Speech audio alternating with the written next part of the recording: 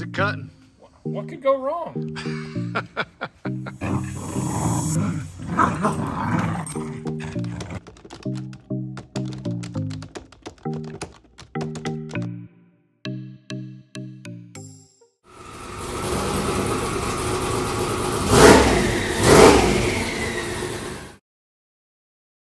Yeah, there's a lot of things you have to get ready before race week. The next thing on our list after chassis cert was to upgrade the transmission. After a quick YouTube search, Chuck Stewart and I decided the easiest way to take care of these upgrades to the transmission was with the Sawzall. Well, stick it through there. Get it through there first. There's a little burr here. yeah, what could go wrong? I can't because it was gonna. I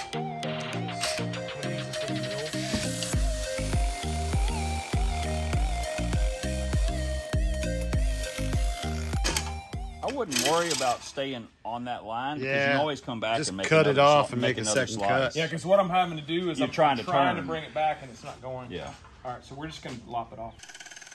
Once your car runs below 10 seconds or over 135 miles an hour, all the safety rules change. That's all. Go faster.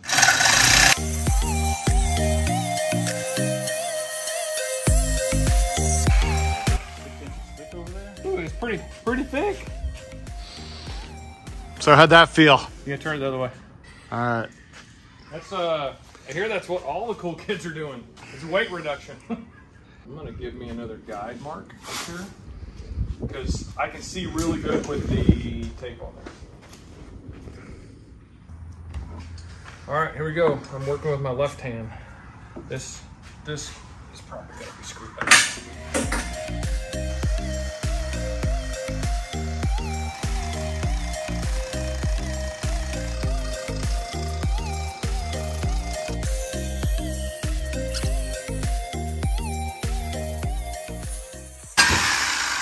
Hope we don't need that. That one's even thicker. Hey, don't be pissing on my wheels either.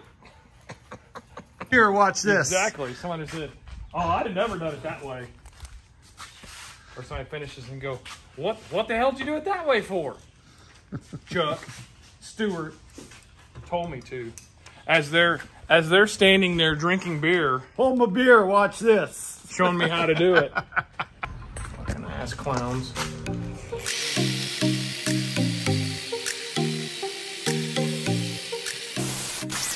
On trucking. I think so. I think so. Yeah, I think so too. I mean, what can go wrong?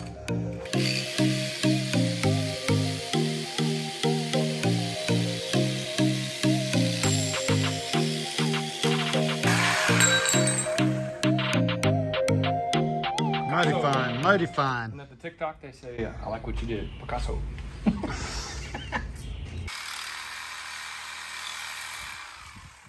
Hey, you're getting talented. So, I can cut some shit up.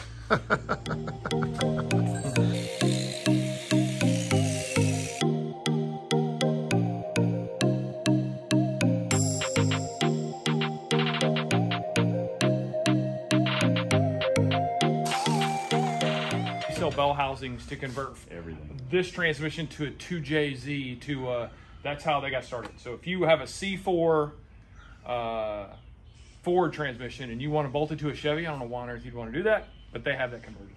They, they do all that stuff. That's how they that's how they make money.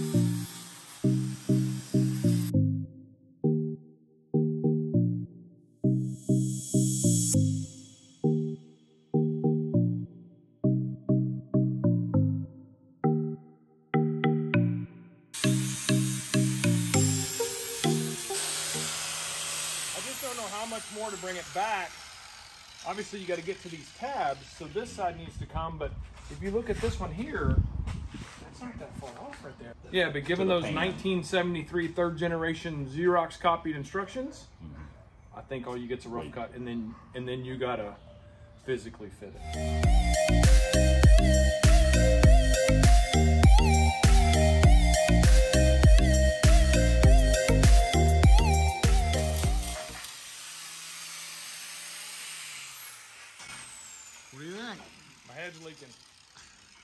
I, I'm I like it. What do you think?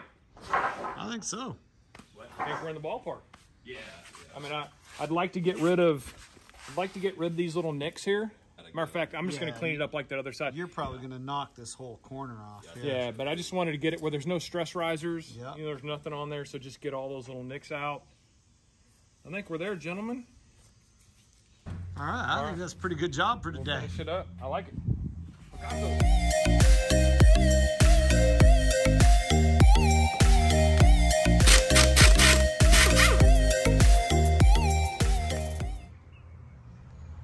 Don't forget the O-rings and to torque the bolts, and the Ultra Bell installation is complete.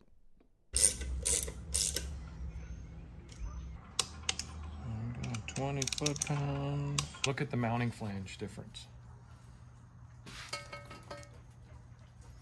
This is bell housing and transmission shoe.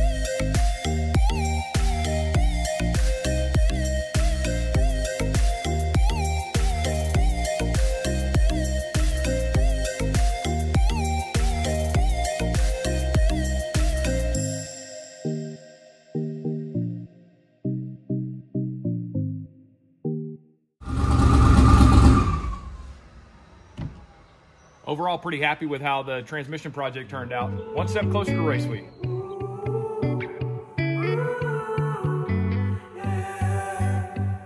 These skies different light.